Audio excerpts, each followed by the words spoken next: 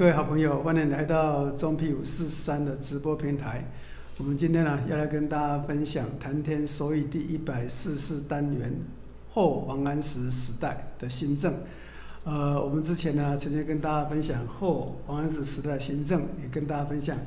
北宋徽宗时代的蔡京。那第三段，我们要跟大家分享，作为王安石最大的铁粉，呃，王安石的铁粉蔡京，啊，他究竟怎么样来执行王安石的政策？我们先来看这张图。呃，这张图的右这个左边呢是这个王安石的画像。那这里有一段话呢，就是王王安石的伤仲永当中的节录，他是鼓励大家，鼓励呃年轻人呢，即使非常有才华，还是要努力学习。他的呢学习呢，可以呢，呃，可以可以让你的出神入化，啊，不要自认自己有才华了啊，就呃错错失的学习的机会。那在右边里头呢，这是蔡京的书法，蔡京书法，这是呃一个是宋神宗时代的宰相，一个是宋徽宗时代的宰相，他们呢同样都是呢，这是呢呃蔡京呢写的王安石的一个书法。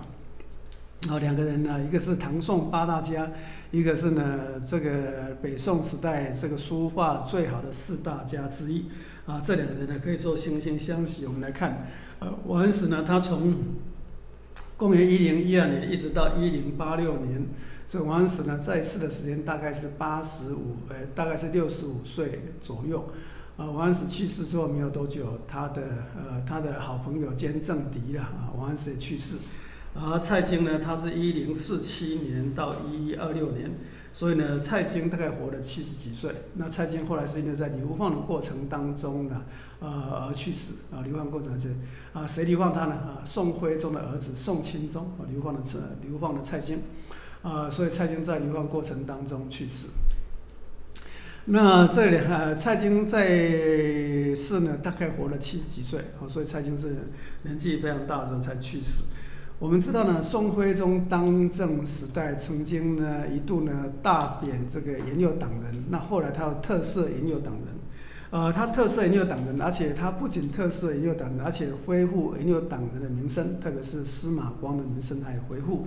但是他真实的目的呢，并不是要执行要实行旧旧党的政政治理念，而是想要调和呢新旧两党之间的党争。所以呢，宋徽宗从根来从根本上来讲，他完全不相信旧党的这一派的政治做法啊是可行的。他一直非常向往新党的这个革新派。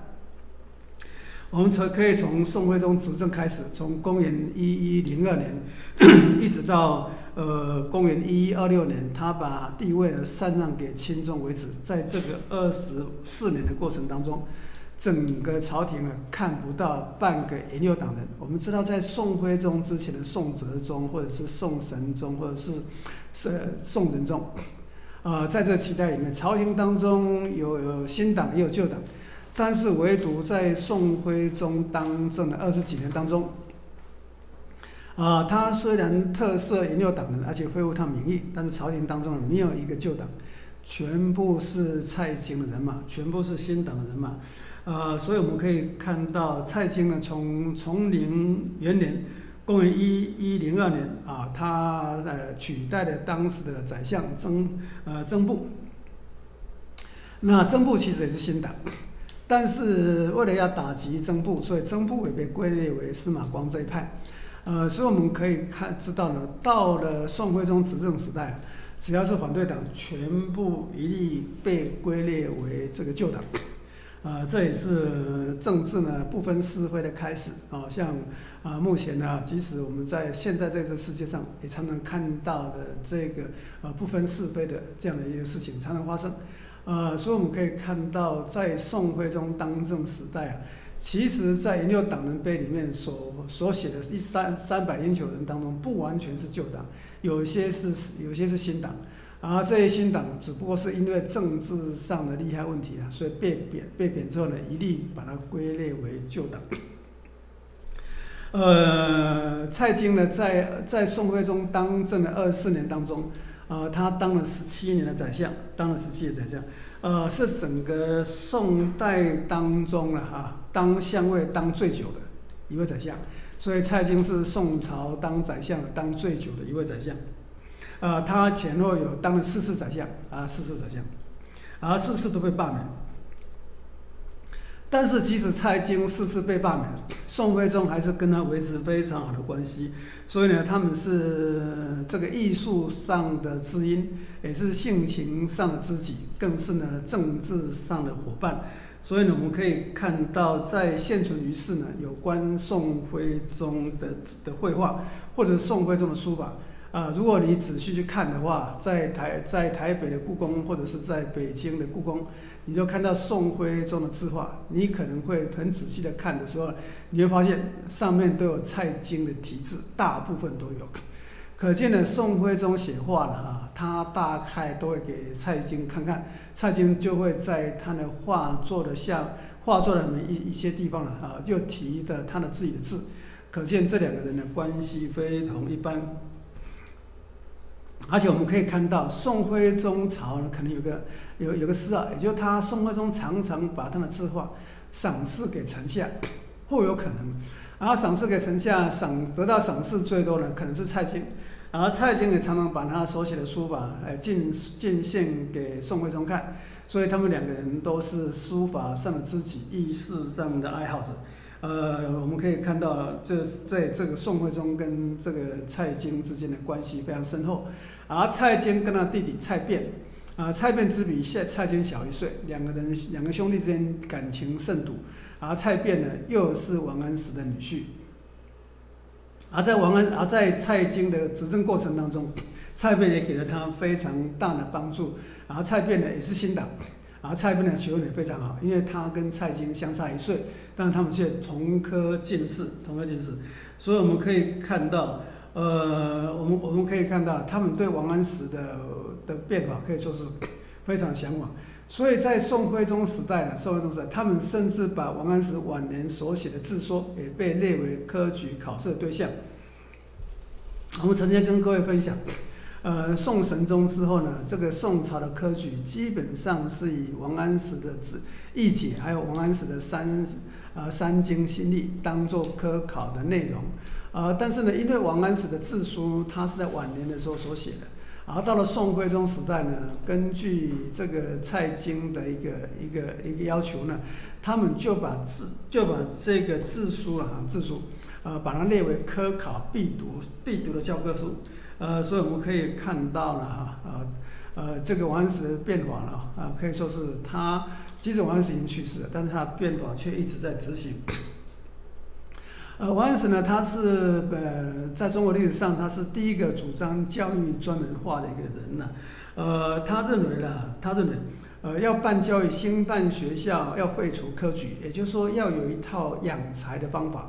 所以他有个太学三设法。太学三设法最大的功能，就是希望能够不要再考试了，啊用培育的方法，用培培育人才的方法，可以说是最早的培育人才的办法。所以他们怎么培育人才？就培育呢，朝廷执政需要有的人才。呃，如果以现在的术语来讲，基本上来讲，他就先看看国家需要哪些人才，啊，所以呢，他就开设哪些的科系，然后呢，需要有多少数量的人才，所以他在开设科序当中就定出他的名额。而定出他的名额之后，然后这些人大学毕业之后呢，由国家的帮助之下，到各地去为官，或者是能够加入各行各业，啊，就是以现在的术语来讲，他是想要建立这么一套制度。那科举制度呢，基本上你怎么读书不管你，啊，你只要通过科举就可以了。所以王安石呢，他更进一步，他认为科举这个制度不太有必要。呃，如果我需要几个律师。我就在全国当中，就从法律系里面来挑选，在法律系里头呢，我就挑选最适合练法律系的人进来。等到他大学毕业之后，他就自然而然就职业律师。所以这个，也就是我们是建立一套制度，这套制度就是说，你必须要先预测，呃，国家未来二十年或三十年究竟需要多少人才，究竟需要多少职位，而且究竟需要多少专长。而根据社会的需要的专长，根据社会需要的职位来决定制度，啊，这教育制度基本上就举才啊，所以呢，如果没有在举才范围之内，那你就当一般的人，因为国因为这个国家各行各业都有需要，也就是说，他弄了一套制度，就是国家培养精英的制度。呃，这个培养精英的制度呢，在王安石时代还没有真正落实，到了蔡京时代的时候，他就真正的落实。所以在蔡京的主持之下，蔡京主持之下。学校制度、科举的正全面展开啊，这个全面展开。呃，所以呢，这里这个呢，根据蔡京的说法，就是所谓的呃所谓的一道一道德啊，一道啊一道德这三个字，一是一二三四的一，道是道家的道，德是道德的德。这个一道德的这种做法，其实他最早提出的概念是王安石。王安石说什么叫一道德呢？他说万物莫不有自理焉。能经其理，则圣人理；经其理之道，在在乎治其一而已。治其一，则天下之物可以不思而得也。《易经》系辞曰：“一字而百利，言百利之归乎一也。”也就是说，这个一道德呢，这个基本的观点是来自于哪里？来自于《易经》的系辞。啊，《易经》系辞里面有一句话，他说：“一字而百利，言百利之归乎一。”一治而百利。一次而，百虑原来的意思呢，就是说一个心思，但是有有百种的考虑啊。他把它解释成一次而，百虑，就是说，呃，你可以把这些呃这些需要培养人才方法，就好像是一道德。所以一道德呢，就是发挥一次而百一次而百虑的极致。简单的说，王安石搞了一个制度，这个制度就把《易经》当中一字啊百虑这一则非常玄。非常抽象的哲学名词，然后把它变成一个兴办教育事业当中的一字啊百虑，也就是为了要达到一字啊百虑的这种效果。一致的意思就是为了要国家太平，为了要全国呢长治久安，这是说一致。而百虑，所以我必须要有一百种思考方法，也就是要必须要各行各业的方法。呃，在易经当中的一致啊百利呢，呃，这原来是属于哲学上的用语。可是呢，到了司马，到了王安石这里头，他就把一致啊百利发挥到极致啊。但是即使王这个呢，王安石把它叫做一道德，一道德。而这个一道德理念的真正落实，就是蔡京，就蔡京。呃，所以宋徽宗在这个崇宁三年，在蔡京的建议之下呢，呃，宋徽宗下了一道诏令，把王安石配享孔庙。呃，所以我们可以看到，从宋徽宗建立的王安石的思想的书，呃的这个官学体制，他根据王安石的思想，呃，包括他的啊在，而且在这个官学制度里面，他特别把书法还有画啊书跟画，还有算全部纳入太学里面。我们可以看到，过去的教育制度很少在教育里面有美术系、有书法系的，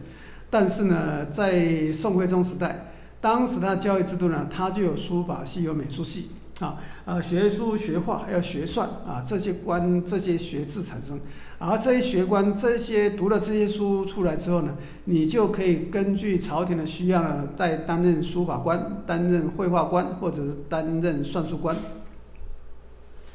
而这个逻辑呢，就是所谓一致啊百虑，一致啊百虑。所以呢，简单来讲，呃，这个到了蔡京时代，蔡京把王安石的三。呃，的太学三摄法，把它更加精进，变成一致啊百利，所谓的一道德这种办学方法，也就是从这个培育人才开始，从这个训用，呃，简单来讲，就是把训用考，呃，把它化成，呃，包括他的学，呃，教育啦、训练啦、考核啦，或者是就业的，全部把它变成一条边的做法，呃，所以认真来讲的话，呃，蔡京的想法。啊，是有非常现代的意义的，现在非常非常现代意义。呃，南宋时代一个非常有名的藏书家叫做曹公武。呃，曹公武呢，他曾经呢记录了一件呢蔡京的弟弟蔡卞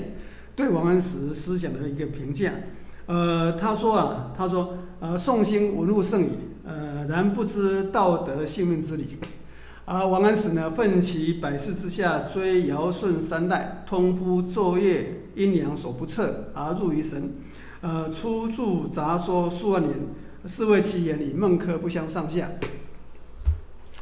呃，蔡卞是王安石的女婿嘛？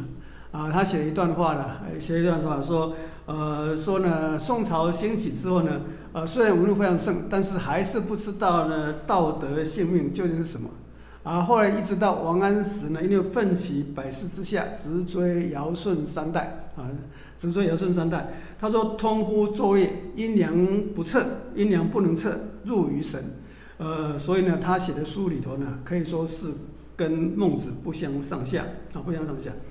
呃，简单来讲，因为蔡卞呢也非常推崇王安石啊，所以我们可以看到，呃，王安石到后世的时候，因为蔡氏兄弟的推崇啊。呃，使得王安石呢，宋徽宗特别召令王安石入室孔庙，入室孔庙，而反呃，而我们可以看到这样一股风潮，一直到宋徽宗禅让给他的儿子宋钦宗之后呢，呃，宋钦宗之后呢，呃，当时呢，有人就开始弹劾王安石啊，他说，当时有个大臣名叫做汪藻，呃，汪汪藻。呃，汪藻呢，他写了一个叫《健康纪要》。《健康纪要》简单来讲，就是宋钦宗在短短的两年当中的记录。在《健康纪要》当中呢，他记录了，呃，他记录了这个一些批评王安石的文章啊，批评王安石的文章。他说，王安石自认为自己是商鞅在世，自以为是商鞅在世，但是他却残害天下，残害天下。他说呢，啊，王安石呢，非性命之学不谈，非老庄之书不得。啊，他说王安石呢，更改祖宗之法，推行更改祖宗之法，以至于祸国殃民。啊，当然这是在宋钦宗时代啊，宋钦宗时代。那宋钦宗时代的时候呢，国事已经不可挽救了，不可挽救。呃，所以我们可以看到，因为宋徽宗、宋哲宗呢，呃，可以说新法达到极盛，到了宋钦宗呢，啊，因为呢，这个完颜拉骨打呢，呃，建立金国之后呢。呃，完颜连海呢，攻破了开封，攻破了开封，而鲁钦、徽钦二帝而去，啊，徽钦二帝里面呢，他把所有徽宗、钦、徽宗的这一族系的大概两千多多个人全部掳到北方，当时只跑了一个人，康王赵构，呃，所以呢，赵构算是南宋时代唐太宗这一支的最后一人。但是赵构他没有孩子啊，没有孩子的原因是据说，因为在赵构常常被惊吓啊，这样惊吓，以至于赵构啊，所以后来呢，又回到了太宗这，呃，又回到太祖这一系。为什么没有在太宗这一系传下来呢？因为太宗这一系呢，到了后来呢，完全是纨绔子弟，也就是吃，也就是吃吃喝喝而已。然后呢，就是纵情声色，而北宋又是在那个时代里面最繁华的城市。越繁华城市越让人家迷惘啊，所以呢，使得太宗这一族呢，啊，基本上都在开封啊落入金人之手，最后呢，全部两千多个人全部被掳北上，啊，所以这也是也是呢这个北宋灭亡的一个原因呢啊，北宋灭亡原因。但不管怎么样，我们可以看到，呃，王安石的流派从王安石之后。一直到徽宗朝，可以都是居于主流地位。一直到钦宗的时候呢，一直到钦宗时候，呃，开始有人把天下大乱的罪过归咎于王安石这一派，归咎到蔡京这一派。甚至蔡京在流放的过程当中，蔡京很有钱嘛，在流放过程当中，他想要拿钱出来买东西，别人都不愿卖给他。蔡京就觉得很奇怪，他说：“我那么有钱，为什么都买不到吃的东西呢？”呃，别人跟他讲说，因为呢，你被认认为国国劫了。蔡京说，我做了那么多好事，我为什么变成卖国劫呢？所以蔡京后来在流放过程当中去世。呃，流放过程去世之后，当这个蔡京的死讯传回呃北宋的王朝的时候呢，呃，宋钦宗听了之后呢，就说好可惜，好可惜啊，怎么没有办法把这个蔡贼呢明正典刑？呃，就是说，其实我们过去有一句话叫“天下这君子恶居下流，天下之恶追归焉”呐。蔡京可能没有那么坏，啊，他也可能做了很多好事，但是因为宋朝到了后来啊，全部是蔡京当政，而即使呢，宋朝的兵力足以抵挡住金人，但是却没有抵挡，啊，却没有抵挡，已经不是蔡京的错，啊，那但是呢，蔡京却因此，啊，所以呢，蔡京之后呢。王安石新法呢，到南宋时代的时候，完全被完全的就不是变成主流，也就是因为北宋的灭亡原因，很多当时很多人都归归咎于王安石变法，但也有一些人替王安石呢，或者替蔡京，呃，来平反。为什么？因为蔡京如果要敛财，他不需要敛财，啊，他写两个书法就一堆人要，所以蔡京的目的呢，他不是敛财。呃，虽然他最后是敛财，但是有人认为蔡京敛财是帮宋徽宗敛财，因为宋徽宗奢侈无度 啊，所以呢，呃，蔡京呢，他其实他赚，他不是替自己赚钱，他是替宋徽宗赚钱。所以真的要怪是怪怪谁？怪宋徽宗啊！当然这个当然是历史的这个已经没有人知道了。那北宋就这样呃灭亡了。特别在宋徽宗亲政之后，因为呃过去人家常常讲一句话：由俭入奢易啊，由奢入俭难。所以宋徽宗刚开始的时候也想有所作为，但是后来在声色犬马当中啊，宋徽宗慢慢的贪图享受，慢慢贪图享受，不不再不再理受朝政。然后特别呢，在《水浒传》里面呢，他特别提到一个兴建兴建大型园林宫殿，啊，叫做花石纲，叫做花石纲。花石纲的意思就是把全天下当中最好的石头、最好的、最好的这个最好的东西全部运到开封。据说这个花石纲所造的这个北宋的园林呢，啊，有人说可以媲美圆圆明园，清朝的圆明，可见这个呃非常美轮美奂。在这个《水浒传》当中啊，呃记载的这个运送花石纲的一些花絮。而在运送花石纲当中非常重要，就是说你大家等于是利用政府的力量搜刮民财，搜刮民财啊，搜刮而去。所以我们可以看到宋徽宗到最后呢，呃，大概是以享乐为主。但是作为太师的这个蔡京，他非但没有劝谏他，而且鼓励他，啊，他认为花钱才是刺激经济最好的方法。呃，所以也有人把这个易这个蔡京呢，把这一套花钱的方法呢，呃，他把它叫易经经济学。我们在下一次的时候，肯定会跟大家分享，啊，这个易经经济学究竟是怎么回事？简单来讲，它就是古代的凯恩斯理论啊，古代的凯恩斯理论。所以我们可以看到，因为呢，他在执政的过程当中呢，呃，开封变成全天下最富庶的地方。而而而这个皇宫呢，变成全天下最富庶的皇宫啊，所以呢，我们可以看财富非常非常的集中，以至于各地呢被搜刮殆尽，被都被都是搜刮殆尽。所以当时呢，在朝廷当中呢，主要是蔡京还有童贯。那童贯是在宋朝当中最有名的太监，因为他后来还当到将军。呃，后来这个开封城破的时候呢，呃，宋徽宗、宋钦宗呢要求这个童贯守城，童贯不敢守，啊，不敢守，啊，虽然出任这个开封守备，但是还是跟着宋徽宗、宋钦宗逃亡，以至于呢，开封城无法守备，一夕之间呢，就是不应该倒塌的墙就倒塌了，所以我们可以看到，呃，这个用这个宦宦官来当大将军呢，也是有他的缺点。啊，因为因为这样子里头，我们可以看到，在宋徽宗时代，他一方面呢是北宋时代最繁华时代，啊，所以宋徽宗他被呃这个蔡京被认为是太平宰相；另一方面呢，在北宋时代最黑暗的地最黑暗的这种状况，也在宋徽宗时代。发现发生，所以政治的黑暗加上加上呢，因为他在呃把这个五鬼搬运的方法啊，使得这个老百姓非常非常穷困。不仅老百姓非常穷困，连富人也都非常穷困，所以各地的民变就起来。那其中最两最重要两次民变，一个就就是呢这个《水浒传》啊，《水浒梁山聚义》啊，另外一个另外一个呢。呃，就是我们可以看到，这是当时的一个最大的、最大的民、最最大，还有南方的方腊啊。那这两个是徽宗朝最大的、最大的这个民事民呃的事变。即使后来《水浒传》呢这些英雄好汉被招安，但是被招安这些这些英雄好汉呢，被拉去打方腊，打到方腊之后呢，都被朝廷毒死。所以我们可以看到，包括宋江这些人，呃，这个梁梁山好汉里面呢。好像没有，好像得到山庄了寥寥无几。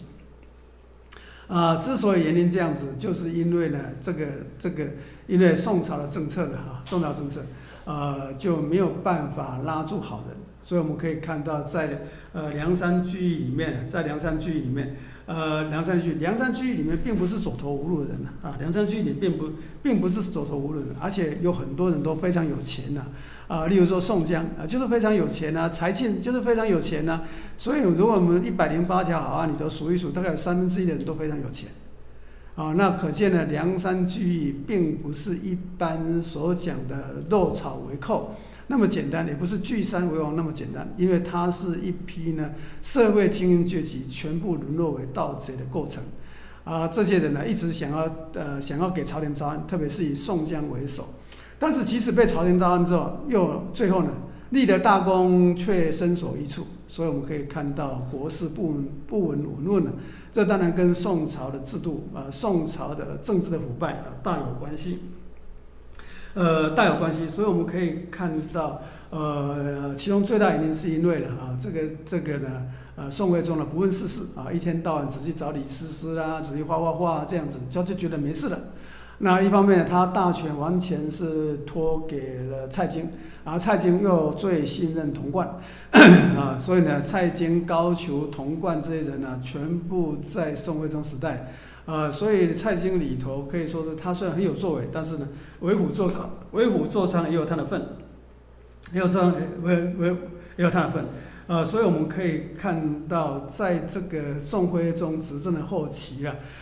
一方面呢，因为他从来不是一个政治家，啊，从来不是一个政治家，所以他又非常迷恋艺术鉴赏。他上朝的时间越来越少，娱乐的时间越来越多啊，甚至呢，官员反对呢，啊，官员反对，啊，他还是一样。当时蔡京在外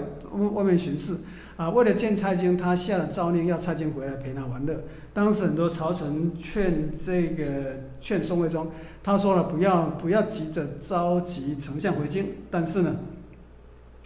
呃，宋徽宗呢还是一样下诏呢，叫蔡京回京。蔡京回京之后，一天到晚就只陪着宋徽宗吃玩乐啊，受不呃不要只呃陪着社社会上是吃喝玩乐。所以我们可以看到，在社会上，蔡京一方面扮演着好人，一方面又扮演着坏人。所以我们可以看到，蔡京因为他对地方官呢，啊，他对对地方官，他基本上就送话嘛，送话。那呃，叫大家说他的好话，叫他说好话。那他同时我们可以看到，他另外呢，他也修了有非常多的利民的措施，啊，例如说他修了非常多的水利工程，他又呃盖了老人院，又盖了安养院，又盖了孤儿院等等，呃，所以呢，我们可以看到蔡京在那个时代里面有他的贡献。啊，但是也有他失败的地方，呃，也是有他的失败的地方，所以我们可以看到，有人认为呢，蔡京他其实可以成为一个好官，只不过是他是北宋政治制度的受害者，啊，政治是是制度的受害者，呃，所以呢，他努力的打败了，努力的打倒了反对新党这些人，最后终于执行了王安石的新法，呃，从呃成为了这个北宋末期最大的一个魔王。当他成为北宋末期最大一个魔魔王的时候呢，他就变成从一个艺术家呢，变成臭名昭彰一个弄臣啊，因为他形成一个弄臣呢，以至于呢没有办法回头啊，没有办法回头，所以我们可以看到呢，呃，蔡京呢哈，他其实不缺钱，以他当时的书法的身价呢啊，他要多他要多少钱就有多少钱啊，但是他却一样的在这里头，所以我们可以看到蔡京到最后死的时候。呃，在最始的时候，他要求人家写那墓志铭，啊，写墓志铭写什么？他都送，他说了，他说安史之乱，安史之乱，安史之乱并不是姚崇宋姚崇呃宋璟的错过错，也就他认为自己没做错啊，自己没做错。但是呢，所以我们可以看到蔡京一直到死的时候，他都自己觉得他没错，一直一直就就觉得他没错。呃，可见呢，王安呃蔡京呢，其实在他十七年宰相任内。啊，他确实曾经因曾经想要好好的执行王安石的政策，只是呢，他时不我与啊，时时不我与。呃，所以我们可以看到蔡京呢，他又担心政敌的报复，啊，因为蔡京在唯一的政敌报复的时候莫名其妙，他担心政敌报复，所以他就收买天下官员，所有人都说他好话。而且呢，当当时呢，他又做了这个，呃，为了宋徽宗的享乐，所以他就大兴花石纲之意，他在建了非常建了一个美轮美奂的这个呃这样的一个宫殿，然后这个宫殿里面呢，最重要就是要供宋徽宗一个人玩乐，呃，所以他为了弥补亏空，为了弥补亏空，为了为了弥补弥补亏空怎么办呢？大量铸钱，大量铸钱。他这里大量铸钱之后呢，钱就很多了，钱就很多，要买什么就买什么，以至于到最后因为大量铸钱的关系呢，以至于宋朝呢，这个通货膨胀非常非常的严重，啊，以至于呢，很多人看到买东西不敢用钱，为什么？因为早上可以买的钱呢，下午就不能买，啊，蔡蔡京又想了一个方法，又想了一个方法，啊，他把这些钱币又做了一个花样。所以简单来讲，蔡京认为了，啊，要刺激经济最好的方法是什么？就花钱。那花钱呢？呃，有什么办法？以前是银两，银两，银两什么？银两都是要看重量嘛，看品质啊。所以他把银两打得一文不值，甚至花型纸币。花型纸币就简单的，一直印，一直印，完全不顾它呃到底有没有。他一直认为花了纸币之后就能够赚到他想要的。啊，所以它是一个以消费消费导向的施政措施，鼓励大家浪费。他认为只要有消费，就很多人为钱而卖命。但是他不知道的，他的消费程度大过北宋的生产力，这时候通货膨胀就必然不可避免。所以我们可以看到啊啊，这个呃，他实施了一个最先进的经济制度，但是也因此而身败名裂。所以呢，他作为王安石的铁粉呢，可以说是呢，呃，完全不为过。啊，王安石因为有宋，呃，因为有蔡京的关系呢，让王安石去世之后呢，啊，新法又延续了四十年。啊，到最后呢，有人说宋朝之所以呢灭亡，是因为王安石变法；，也有人说因为王安石变法，让宋朝呢多活了四十年。啊，但是不管怎样，呃，这个都是历史上的一些一些评论。所以今天我们跟大家分享王安石的铁粉，呃呃的铁粉呢，呃，蔡京。就是这么样一个人，感谢大家收看，我们后会有期。